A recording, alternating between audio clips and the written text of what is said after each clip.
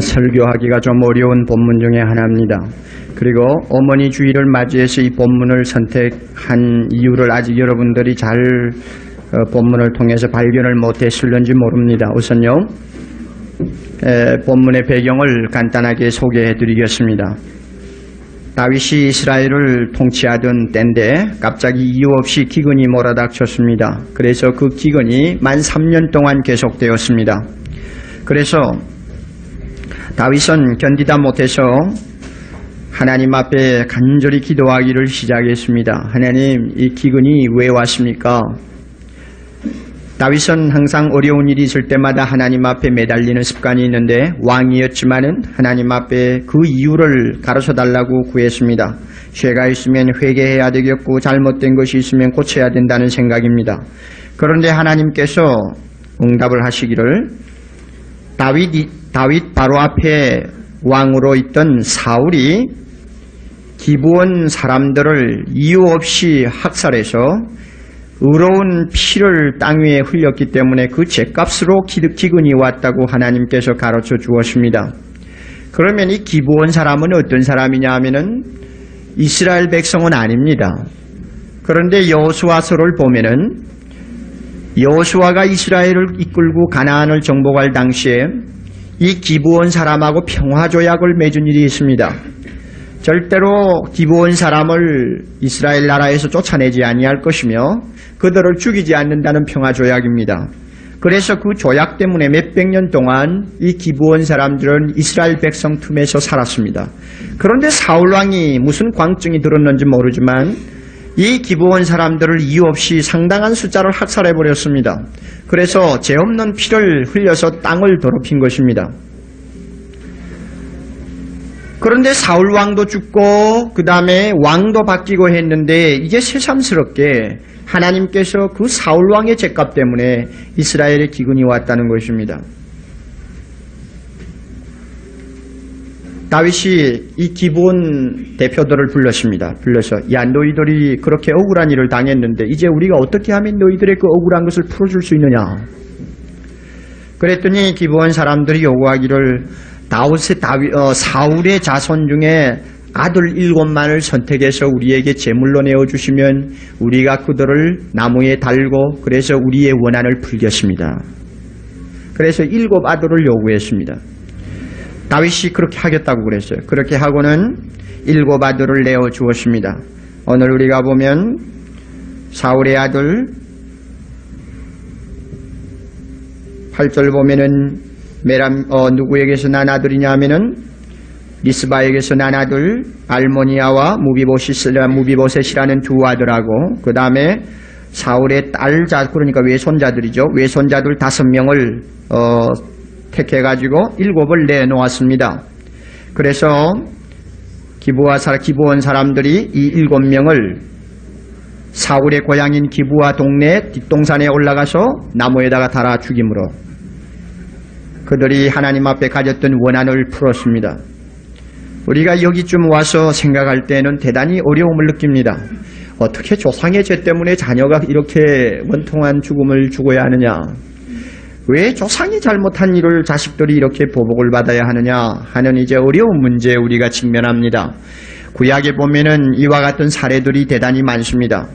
솔로몬이 범죄한 그 대가를 그 아들 르호보암이 받았습니다. 또한 아합이 범죄한 그 죄값의 심판을 그 아들들이 받았습니다. 우리가 구약을 보면은 부모의 잘못, 조상의 잘못을 아들 대에 가서 보응을 받는 예를 보는데 여기에 대한 설명을 하라 하면 저도 설명을 할 수가 없어요. 하나님께서 어떤 의미로 이와 같이 하시는지 그 하나님의 깊은 진의를 알 수가 없어요. 신약 시대에는 이와 같은 사례가 없습니다. 부모의 죄 때문에 자녀가 고충을 당한다든지 저주를 받는다든지 그런 일은 신약에서는 없습니다. 그런데 구약은 왕망이 많이 있어요. 그러면 우리가 이 설명할 수 없는 신비스러운 일을 놓고 우리가 이해하지 못하기 때문에 하나님이 부, 어, 불공평하다, 잘못됐다, 잔인하다 이렇게 말할 수가 없습니다. 우리가 이해하지 못하는 것은 어디까지나 우리가 하나님의 뜻을 바로 깨달을 만한 능력이 없기 때문이고 하나님께서 또 그 뜻을 숨겨놓고 계시기 때문에 우리가 밝히 몰라서 그렇지 하나님 자신에게 잘못된 것은 전혀 없습니다. 저는 항상 성경을 놓고 읽을 때 제가 이해하지 못하는 것은 이런 방법으로 해결을 합니다. 하나님, 제가 이해하지 못하는 것은 제 탓이고 하나님 편에서는 잘못된 것이 전혀 없습니다. 이렇게 저 자신이 언제든지 깊이 고백을 합니다. 언젠가는 가서 하나님께서 가르쳐 주시겠죠. 아무튼요, 이 아들들이 죄값을 받았습니다. 그런데 이 일곱 아들을 제- 어, 나무에 달아가지고 죽인 그 사건이 있자말자 놀라운 에피소드가 하나 생겼습니다. 두 아들을 갑자기 잃게 된 이 여자가 말이죠. 리스바라고 하는 이 여자가 두 아들을 갑자기 잃어버리자 그 아들이 목매 달린 그 언덕에 올라가서 그 아들 시체 옆에서 자리를 깔고 천막을 치고 시체를 지키는 일을 시작했습니다. 낮에는 독수들이 독수리들이 와서 그 시체를 해치지 못하게 새들을 막았고 저녁에는 짐승들이 와서 그 시체를 먹지 못하도록 약한 여자의 몸으로 그 시체들을 막고 그래서 보리를 베기 시작한 4월부터 시작해가지고 10월달 비가 내릴 때까지 6개월 동안 이 여자가 시체 곁을 떠나지 아니하고 시체를 보호했습니다.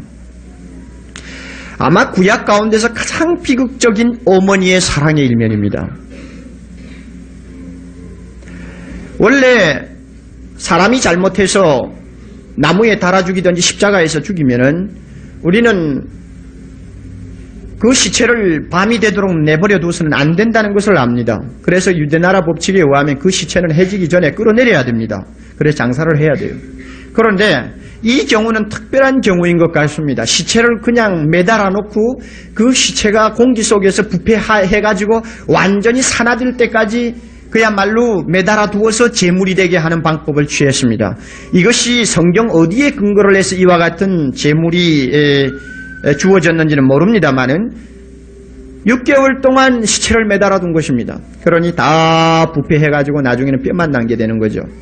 그 곁에서 어머니가 지킨 것입니다. 이 사실이 다윗 왕에게와 모든 이스라엘 백성에게 전해지자 다윗 왕이 감동하고 모든 이스라엘이 감동해서 그 어머니의 사랑에 어떻게 하면은 보답하고 위로를 할까 해서 나중에는 사울 왕의 뼈와 그 아들 요나단의 뼈와 또 이번에 목이 달, 목, 목매 달려 죽은 죄 없는 일곱 아들들의 뼈를 전부 다 거두어 가지고 아주 성대하게 장례를 치루어 주었습니다. 그래서 그들의 죽음이 욕되지 않도록 마무리를 지었던 것입니다. 오늘 우리가 본 본문의 배경입니다. 오늘은 어머니 주일을 맞이했기 때문에 우리는 1년에 한 번씩 어머니에 대한 설교를 듣게 되고 또 제가 하게 됩니다. 이 가운데서 어머니를 거치지 않고 어머니를 모르는 사람은 한 분도 안 계실 것이고 지금도 자녀들을 손에 키우시는 어머니들이 많이 계십니다. 이 리브아라고 하는 젊은 어, 나이가 든 여자인지 젊은 여자인지는 모르지만은 상당히 리스바라고 하는 이 부인은 나이가 든 것 같습니다. 이 리스바가 자기 아들들의 시체 곁에서 한 이 일을 통해서 우리가 몇 가지 어머니 사랑이 지닌 특성을 들여다볼 수가 있습니다. 어머니 사랑만이 가질 수 있는 특징입니다. 제가 오늘 세 가지를 말씀드리겠어요. 첫째는 어머니의 사랑은 세상에서 하나님의 사랑을 가장 많이 닮은 사랑입니다. 어머니의 사랑은 하나님의 사랑을 가장 많이 닮은 사랑이 사랑입니다. 이 세상에서 그 유래를 찾을 수가 없어요. 리스바가 나무에 매달린 아들들 곁에서 6개월 동안 떠나지 않냐고 시체를 돌보며 그 고통을 견디는 모습은 마치 자기 아들 예수님을 십자가 인류의 죄 때문에 달아놓고 하나님이 그야말로 그 십자가의 참혹한 죽음을 내려다보시면서 사랑을 표현했던 그 하나님의 사랑하고 닮은 데가 대단히 많습니다.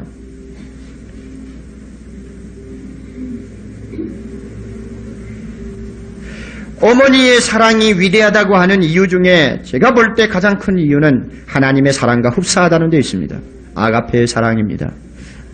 낳았다는, 내가 낳았다는 조건 외에는 전부가 무조건적입니다. 엄마의 사랑만큼 무조건적인 사랑은 세상에 없어요. 하나님의 사랑을 특징 지운다면 무조건적인 사랑입니다. 조건이 없어요. 내가 약할 때 하나님이 먼저 나를 사랑했고 내가 원수 되었을 때, 하나님이 먼저 우리를 불러주셨고 내가 아직 죄인이었을 때 하나님이 우리를 대신해서 자기 아들을 희생시켰습니다. 모든 것이 무조건적이라. 그래서 이유 없이 나를 사랑하는 것이 하나님의 사랑입니다. 어머니의 사랑 역시 마찬가지입니다. 부부의 사랑도 다 조건적이고 형제간의 사랑도 다 조건적이고 친구들의 사랑도 다 조건적이지만 어머니의 사랑만은 무조건적인 성격이 너무나 강합니다. 그래서 하나님 사랑을 닮았다고 그래요. 그래서요. 죄에 빠진 인류에게 하나님의 이 사랑은 생명과 같은 것인 것처럼 자녀들에게는 어머니의 사랑이야말로 생명 그 자체입니다. 어머니의 사랑이 없으면 자녀는 존재할 수조차도 없습니다. 그래서 어머니의 사랑은 자녀들의 인격과 생애를 결정짓는 절대적인 힘을 갖습니다. 어머니의 사랑 때문에 모든 자녀들은 어머니를 그리워할 때 그 어머니는 자녀들의 마음의 고향이 됩니다.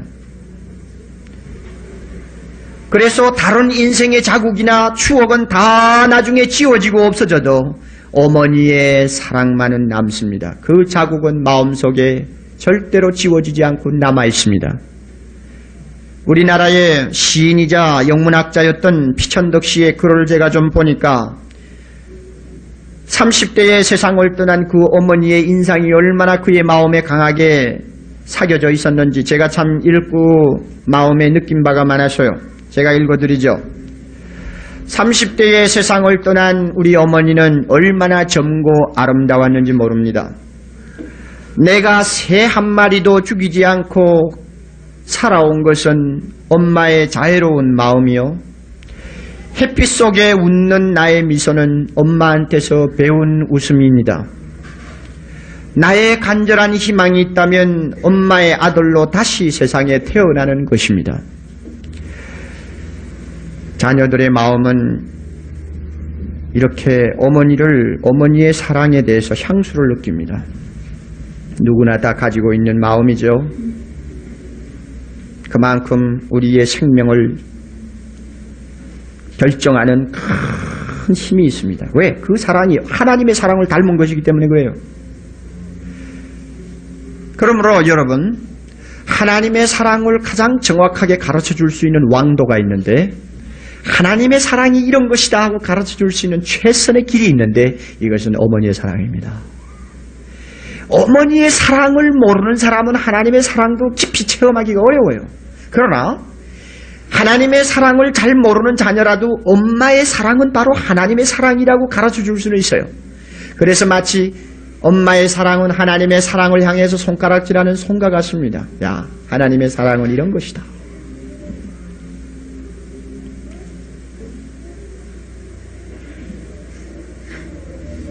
불란소에 왕들이 69명이 있었다고 그러는데 그 불란서 왕국을 지배한 69명의 왕 가운데 세 왕만이 국민들의 사랑을 받고 국민의 존경을 받았다고 합니다.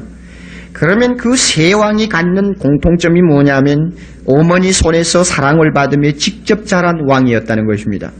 나머지 66 왕들은 부모의 손에서 자랐든지 시녀들의 손에서 자란 왕들이었다고 합니다. 무엇을 의미하는지 아세요? 어머니의 사랑을 통해서 진정한 사랑을 체험했고 어머니의 사랑을 통해서 사랑의 신비를 느낀 왕들은 나중에 왕이 되어도 국민들을 사랑할 수 있는 마음을 갖게 됩니다. 왜? 그 마음에 하나님의 사랑이 심어져 있기 때문에 인류를 사랑하고 인류를 극률이 보는 마음이 자연적으로 나타나게 돼 있어요. 그러나 그것이 결여되면 어렵죠. 저는 현실적으로 볼 때 가장 두려운 것이 어머니의 사랑을 전혀 모르는 사람들이 이땅 위에 가득해지는 때입니다. 얼마나 무서울까요? 물론 엄마의 사랑을 갖지 않고 고아로 자란 사람 가운데서도 엄마의 사랑 이상으로 큰 사랑의 은혜를 아는 사람들이 많습니다. 어떤 면에는 부모의 사랑을 받지 않고 자란 사람들이 사랑에 있어서는 더 풍부하고 남을 더 사랑하는 면도 봅니다. 그건 특별한 은혜예요. 그러나 여러분 이북을 한번 보세요. 어릴 때 그저 철나자말자 애들을 끌어다가 전부 다 합숙 유치원에다가 넣어가지고는 그냥 세뇌 교육을 받아서 어머니의 사랑이 전혀 뭔지 모르고 어릴 때부터 총이나 들고 쏘는 이런 연습을 하고 자란 애들이 나중에 사회에 가득하게 되는 그때를 한번 생각해 보시라고. 지옥이 아니겠어요? 지옥. 어머니 사랑을 모르고 자란 아이는 하나님의 사랑도 몰라요. 그러기 때문에 짐승처럼 사납고 무섭습니다. 표독합니다. 이북만 그런 가능성을 지니고 있는지 나만은 어떻는지 우리 다시 한번 봅시다. 여러분 어머니의 사랑 정말 하나님의 사랑처럼 순수합니까? 또 하나님의 사랑을 보여주는 아름다운 길잡이가 되어 있습니까? 오늘 어머니의 사랑도 많이 탄, 타락했어요. 그래서 너무나 이기적이고요. 조건적입니다. 어머니의 사랑이 자녀들의 가슴에 깊이 박히지를 못하는 예를 많이 봅니다. 왜 그럴까요? 타락했어요.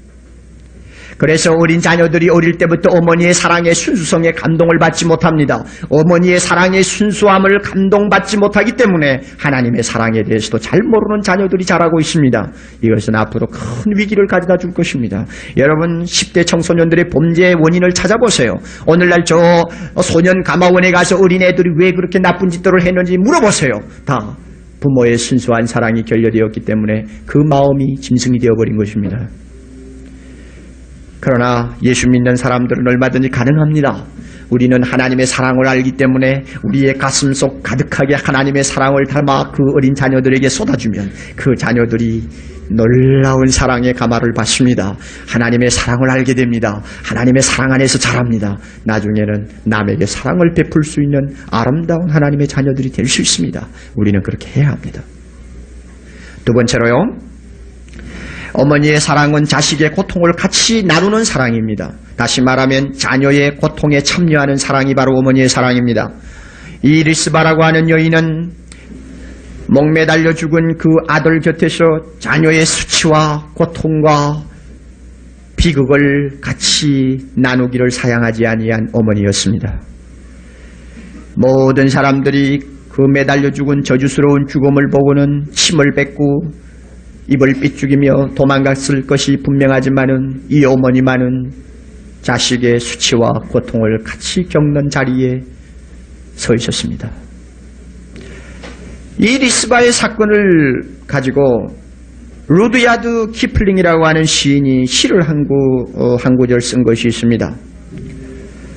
만일 내가 가장 높은 언덕 위에서 목이 매달려 죽는다면 어머니 오 나의 어머니 마지막까지 나를 변함없이 사랑할 자가 누구인지 내가 압니다. 오 어머니 나의 어머니 하고 짤막한 식구가 있어요. 모든 사람이 저주하는 죽음을 내가 당할지언정 그 저주스러운 죽음 곁에서 같이 눈물을 흘리며 같이 슬퍼하며 괴로워하며 같이 모든 수치를 당할 수 있는 사람 이 세상에서 다른 자는 없을지 모르지만 어머니만은 마지막까지 해주실 것입니다. 우리가 아는 대로 모정 가운데서 가장 강한 일면이 바로 자녀의 고통에 동참한다는 것입니다. 내가 아파할 때 어머니가 얼마나 아파했습니까? 내가 잠자지 못하고 허덕일 때 어머니가 얼마나 잠을 자지 못하고 같이 허덕였는가요? 내가 실패하고 내가 어려움을 당할 때 어머니는 얼마나 슬퍼하며 괴로워했는지요? 자녀의 고통, 자녀의 괴로움에 어머니는 주저하지 않고 동참하는 것이 모정입니다. 1963년 3월 18일 날 상관을 총으로 쏘아 죽인 어, 그 죄 때문에 최모일병이라는 사람이 사형 선고를 받았습니다. 저 수색 골짜기 골짜기에 사형장에서 혼병들이 쏘는 총탄에 그는 마지막 숨을 거두었습니다. 어머니가 그, 어, 그 끔찍한 죄를 범한 아들의 소식을 듣고 또 사형 선고를 받았다는 말을 들은 엄마가 이미 아들은 가버린 줄도 모르고 혼자서 한강변 절벽 위에 올라가서 고무신 속에다가 유서 한 장을 써놓고는 투신을 해버렸습니다. 그 유서 속에 이런 말이 기록되어 있습니다. 선생님들이여 내가 아들 대신 가겼으니 내 아들놈을 살려주시오. 짤막한 유서였습니다. 선생님들이여 내가 아들 대신 가겼으니 내 아들을 살려주시오. 어머니 그참 자녀가 상관을 총살한 그 무서운 죄를 범했으니 얼마나 수치스럽고 참 답답한 현실입니까마는 어머니는 그것이 수치인 줄 알며 비극인 줄 알면서도 자녀의 그 슬픔에 참여하기를 주저하지 않는 것이 어머니요. 라버트 R. 브라운이라고 하는 시인이 십자가의 기적이라고 하는 책을 썼는데 그 책에 보면 예수님이 십자가에 매달려 지금 고통하는 그 자리에 서 있는 마리아를 묘사하는 장면이 나옵니다. 예수님이 지금 십자가에 못 박혀 가장 참혹하고 혹독한 고통을 당하며 많은 사람들이 입을 삐죽이며 조소를 하면서 예수님을 욕을 하고 껄껄 웃고 있는 마당에 어머니 마리아만은 예수님의 발밑에서 흘러내리는 피, 피로 옷을 적시며 아들의 신음 소리를 같이 들으며 아들의 고통 소리를 같이 나누면서 서 있는 장면이 우리가 성경을 볼 때 마리아의 장면입니다. 그럴 때 이 브라운이라고 하는 저자가 인간적인 측면에서 보고 쓴 글 중에 이런 말이 있어요. 십자가에 달린 예수님과 그 발치에 서 있는 어머니는 생명을 주는 관계에 있었다. 아들은 육신이 못 박혔지만은 어머니는 그 영이 못 박혀서 서로가 고통에 참여함으로 어머니는 아들을 지탱해주고 아들은 어머니를 지탱해 주었다.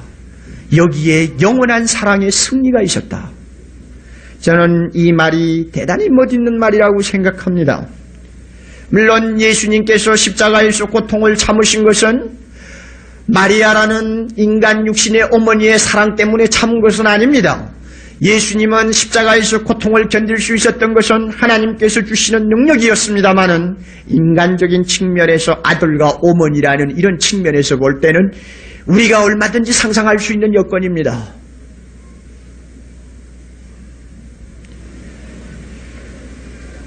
고통을 같이 나누는 그 자리에는 위대한 승리가 따르고 그 위대한 승리를 가져오는 데는 사랑만이 갖는 어머니의 사랑만이 갖는 위대한 힘이 생깁니다. 아무리 방탕한 자식이라도 부끄러운 방탕의 어머니가 같이 동참하면서 그 아들과 함께 눈물을 흘리는 곳에 그 아들이 그대로 있을 리가 없어요. 그 아들을 치료하고 그 아들을 바꾸는 놀라운 힘이 그 안에서 생겨요. 어거스틴의 어머니를 우리는 잘 압니다. 눈물의 어머니는 망하는 법, 눈물의 자식은 망하는 법이 없다. 기도하는 자식은 망하지 않는다는 말만 있는 것 아니에요. 자녀의 고통, 자녀의 그 부끄러운 인생 행로를 날마다 따라다니면서 같이 그 수치와 슬픔에 동참하는 어머니의 일면을 눈물로 표현한 것입니다. 드디어 모니카는 어거스틴을 결국 새 사람으로 만들고 말았습니다. 아들이 시리에 빠져서 사업에 실패해서 자녀가 가정생활에 실패해서 또는 딸이 가정생활에 실패해서 여러 가지 어려운 상황에 빠졌을 때 그 수치와 그 고통과 그 부끄러움을 같이 나누기를 마다하고 자녀와 같이 괴로워하는 그 어머니의 힘은 그 사랑이 지닌 그 힘은 그 자녀의 상처를 고치기도 하고 그 자녀의 잘못된 길을 바꾸기도 하고 시리 시리에 빠진 자녀의 자녀에게 용기를 불어 일으키는 놀라운 역사를 일으킵니다. 이것이 어머니의 사랑만이 갖는 능력이요 힘입니다. 우리가 현실을 볼 때에 어머니의 사랑만이 갖는 이 위대한 힘이 점점 점점 사라지는 것을 봅니다. 어머니도 이기주의자가 되어서 자녀들을 돌보지 않는 예를 우리는 얼마든지 보고 자기에게 불리하면 자식도 내버릴 수가 있고 자기에게 불리하면 자식의 수치와 자식의 실패를 남의 일처럼 쳐다보고 등을 돌리는 어머니들도 오늘 우리 주변에는 얼마든지 있습니다. 그러기 때문에 사회는 그만큼 악해지고 자녀들이 나중에 가서는 무서운 일들을 저지르는 현실을 우리가 봅니다. 왜 그럴까요? 순수한 사랑의 힘이 결여되어 있기 때문입니다. 사랑하시는 어머니 여러분, 그리고 아버지 여러분들, 자녀의 실패를 치유할 수 있는 능력이 우리에게 있습니다. 자녀의 무능력을 치유할 수 있는 능력이 우리에게 있습니다. 자녀의 고통을 변하, 변하게 해서 그에게 기쁨을 줄 수 있는 능력이 우리에게 있습니다. 어떻게? 리스바와 같이. 자녀의 고통에 동참하는 것입니다. 어머니 사랑만이 갖는 힘입니다. 이 위대한 사랑의 힘을 우리는 회복해야 합니다. 세 번째로요. 어머니의 사랑은 뜻을 가진 사랑입니다.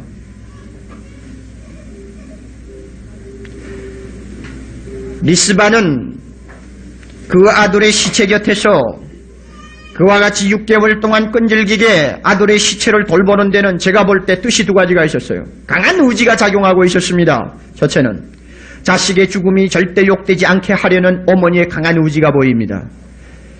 아무리 조상의 죄 때문에 목이 매달려 죽은 자식이지만은 이 자식의 죽음이 헛되어서는 안 되겠다. 어머니의 강한 의지요.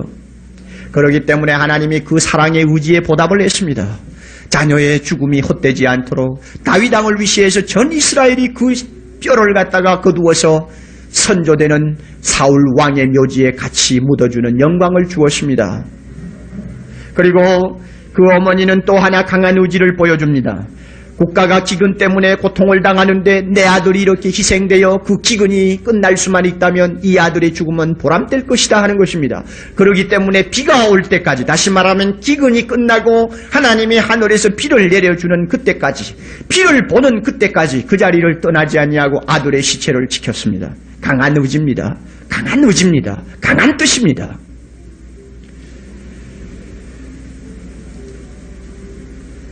우리가 잘 아는 바와 같이 어머니의 마음속에 있는 강한 뜻, 어머니의 가슴에 담겨 있는 놀라운 비전, 생에 대한 깊은 심오한 철학, 이 모든 것은 젖을 빠는 어린 애에게 그 어머니의 손에서 키움을 받는 자녀들의 가슴에 그대로 이식이 됩니다. 하나, 하나 심어줘요. 아빠는 기계를 만드나 엄마는 인물을 만든다는 속담이 있습니다. 엄마, 그야말로 가슴에 자녀를 안고 키우는 엄마는 놀라운 사람입니다. 엄마의 뜻이 그 자녀에게 전해지는 것입니다. 그러니 천박한 생각을 하는 엄마에게 천박한 자식이 나기 마련이고 꿈과 비전이 전혀 없이 그저 짐승처럼 키우는 엄마에게는 그런 자식이 크기 마련이고 세상의 속물처럼 돈만 하는 엄마의 사고방식 속에서 자란 자녀는 돈만 하는 자녀로 생깁니다. 나중에 돈밖에 모르고 부모도 다 배신하고 돌아설 때 저놈의 자식이 부모의 어, 어, 사랑도 부, 어, 모르고 불효한다고 떠들지만 그러한 자식을 누가 키웠느냐? 자기가 키운 거예요.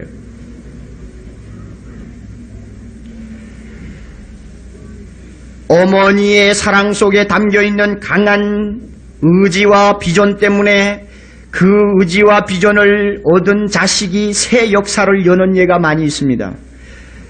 요한 웨슬레는 영국이 위대하게 추앙하는 종교 지도자요 영국을 도덕적인 위기에서 구원한 위대한 부흥가였습니다. 그는 옥스퍼드 대학을 다닐 때 어머니로부터 받은 편지가 하나 있었습니다. 그런데 그 어머니는 놀랍게도 자녀를 19명을 낳아서 키웠어요. 거의 1년에 한 명씩. 그런데 이 수잔이라고 하는 웨슬레의 어머니 위대한 여자예요. 그만큼 감당할 수 있으니 자녀를 하나님이 그렇게 주셨는가요? 그런 것 같아요. 자기 옥스퍼드에 다니는 자기 아들에게 보낸 편지입니다. 목사의 부인이 19명을 낳고 키운다고 하면 상상을 해보세요. 그런데 아들에게 편지하기를 내가 너희들을 키울 때 꼭 한 가지 중요한 뜻이 있었다. 그것은 이 자녀들로 하여금 하나님에 대한 의무를 다하게 하고 이웃에 대한 의무를 다하게 만드는 것. 이것이 내 교육의 초점이었다고 그랬어요. 그래서 그 자녀들을 키운 그 사례들을 조금 적어 놓은 것을 보면 놀라워요. 애가 하나 정도면 가능하겠는데 19명 다리고는 전혀 불가능한 일을 그 부인이 하고 있어요. 그랬더니 보세요. 19 중에서 참 두드러진 인물들이 몇이 났습니다만 그 가운데서 더 두드러진 인물이 조한, 존 웨슬레였습니다. 얼마나 탁월한 인물을 세상에 내놓았습니까? 뜻이 있는 어머니에게는 이런 자녀가 생기기 마련입니다. 아이고 이놈의 자식 어쩌다가 태어났지 이 빌어먹을 놈. 그냥 하는 엄마 소리를 들으면 그래서 소름이 끔찍끔찍 끼칠 정도로 어? 그러죠. 에? 요사이같이 애 키우기 싫은 세상에 어려운 세상에 뭐라고 저놈이 세 번째 또 태어나가지고 저러느냐고 하나만 키우면 될 세상인데 뭐 이러면서 그래서 욕을 하는 어머니들이 마음속으로 도 그렇게 생각하는 어머니들이 간혹가다 있죠. 한마디로 말해서 마음에 비전이 없다는 이야기입니다. 자녀를 왜 키우는지, 자녀를 왜 사랑하는지 뜻이 없어요. 모세의 어머니는 단 유아 시절만 그 애를 키웠지만은 얼마나 철저하게 그 애를 키웠는지. 모세가 성인이 되자마자 젖을 빨면서 어머니 품속에서 그대로 이어받은 놀라운 이스라엘의 비전. 그것을 드디어 그는 실현시키기 위해서 바로 왕궁의 부귀영화를 다 내버리고 칼을 들고 나섰던 것을 우리는 봅니다. 얼마나 무섭습니까? 어머니 가슴 속에 있는 뜻이라는 거, 어머니 사랑에 담겨 있는 비전이라는 거, 어머니 사랑에 담겨 있는 위대한 정신이라는 거, 이것이 얼마나 무서운 것이냐? 자녀들에게서 나중에 나온다고요. 꽃이 피고 열매가 맺어요.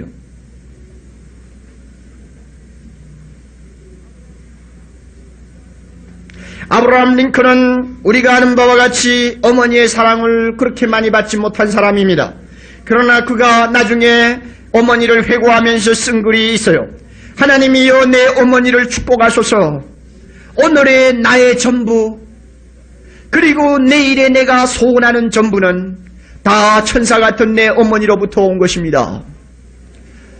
아브라함이 아브라함 링컨이 그와 같이 위대한 인류 역사상의 정말로 손을 꼽는 위대한 인물이 될 수 있었던 것은 어머니의 영향이었다고 그럽니다. 그에게 어릴 때 성경을 전해주면서 생명이 떠난 그 어머니의 영향이었어요.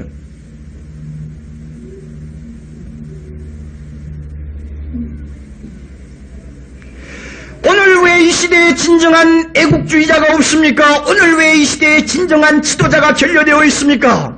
오늘 이 시대에 왜 진정한 올바른 정신을 가지고 살아가려고 하는 인물들이 희소합니까? 왜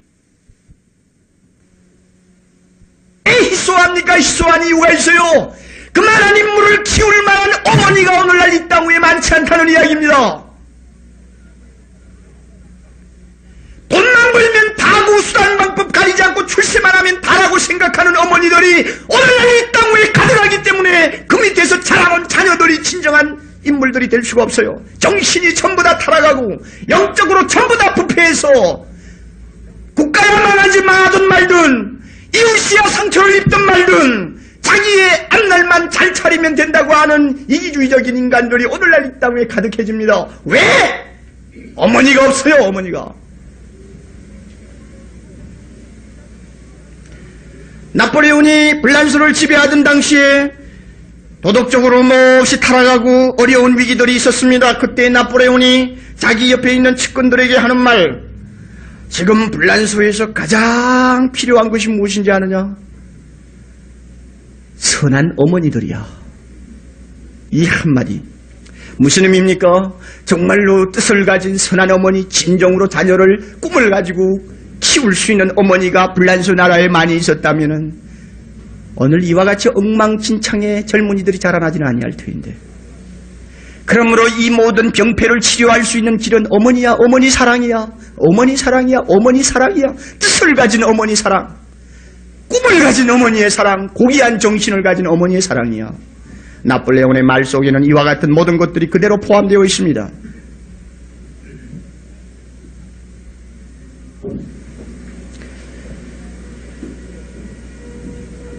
6.25 직후에 강릉이 함락되던 당시입니다. 그 당시에 우리 국군의 장교 하나가 급하게 집차를 몰고 와서 자기 집 앞에 섰습니다. 그리고는 흙투성이가 되어가지고 집안 집안으로 들어가면서 어머니 어머니 하고 불렀습니다. 연세 많으신 어머니가 문을 엽니다. 그러니 아들이 그냥 신을 신은 채로 뛰어들어가가지고 어머니 빨리빨리 피난 갑시다. 여기 계시면 큰일 납니다. 이제는 마지막이에요. 빨리 피난 갑시다. 내하고 저 차 타고 갑시다. 아, 이 어머니가 말을 안 듣네요. 아니야, 너만 가거라. 나는 안 갈래. 아예 아무리 아무리 사정을 해도 어머니가 안 가겠대요. 그러니까 아들이 화를 내니까 드디어 어머니가 이런 말을 합니다. 애야, 이 애미는 너를 믿는다. 그래, 나는 여기에 남으련다. 만일 내가 지금 너와 함께 이, 이, 이 마을을 떠나면 그때는 내가 의미도 없는 이 땅을 무엇 때문에 목숨을 걸고 다시 빼앗으려고 돌아오겠니? 그래, 이 어미는 여기 이 자리에 꼭 지켜 앉아 있으마. 그러면 너는 피했다가도 엄마가 있는 땅이기 때문에 생명을 걸고 찾으려고 할 것이 아니냐. 비록 무명의 장교의 어머니였지만은 정말로 그 말 한마디에는 기가 막힌 어머니의 사상이 들어있는 겁니다. 오늘 대한민국의 어머니의 가슴 속에 이와 같은 정신, 이와 같은 뜨거운 꿈이 들어있다고 한다면 자녀들이 그렇게 타락하지 아니할 것입니다. 여러분, 인물은 누구나 다 키우는 거 아니에요. 어머니라고 자식은 다 낳을 수 있지만 사람을 만드는 것은 자식을 낳았다고 다 되는 거 아니에요. 누구가 진정한 자식을 키우겠습니까? 뜻을 가진 자녀를 누가 키우겠습니까? 교회에 나오는 크리스찬 외에는 기대를 할 수가 없어요. 이 일을 감당할 수 있기 때문에 하나님께서 주일에 교회에 나와서 이와 같은 메시지를 듣게 하는 겁니다. 우리 크리스찬 가정에서 인물을 키우지 못하면 오늘 이 땅 위에 희망이 없어요. 돈만 하는 이 세상 정신적으로 그야말로 타락해버려서 인간은 어디에서 가치가 있는지조차도 찾을 수 없는 오늘 이 현실 속에 진정한 정신을 소유한 인물을 키울 수 있는 가능성은 크리스찬의 가정밖에 없어요. 사랑하시는 어머니 여러분들, 여러분의 사랑에 정말 깊은 뜻이 있나요? 비전이 있어요? 꿈이 있어요?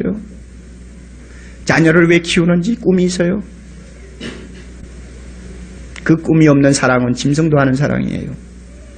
짐승도 낳은 자식을, 낳은 새끼를 빼앗기지 않으려고 자기 목숨을 내대고 자녀를, 자식을 보호하는 짐승도 많아요.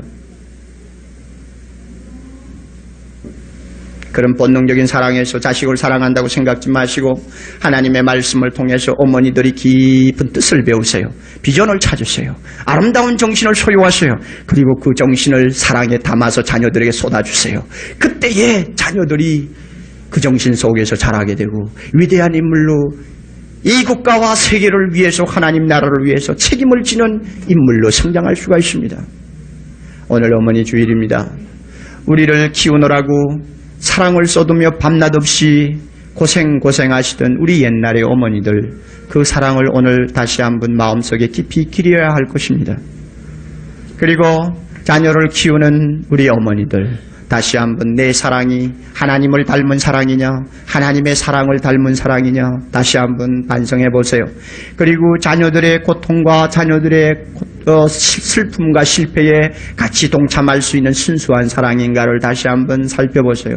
무엇보다도 내 사랑에 위대한 정신이 있는가 위대한 꿈과 비전이 있는가 하나님의 나라를 위해 우리 이웃을 위해 세계 인류를 위해서 무언가 해주기를 바라는 뜨거운 꿈이 있는가? 이 꿈을 자녀에게 바로 심어주고 있는 사랑인지 우리가 다시 한번 깊이 생각하기를 바랍니다. 어머니의 사랑은 아버지의 사랑이 동참해야 합니다. 모든 아버지들도 이 책임을 회피할 수가 없습니다. 크리스찬의 가정에서 인물이 나지 아니하면 크리스찬 가정에서 올바른 자녀가 나오지 아니하면 오늘 이 땅은 지옥이 되고 맙니다. 우리에게 책임이 너무나 커요. 이 책임 감당할 수 있어야 되겠습니다. 여러분의 가정에 하나님이 축복하시기를 바랍니다.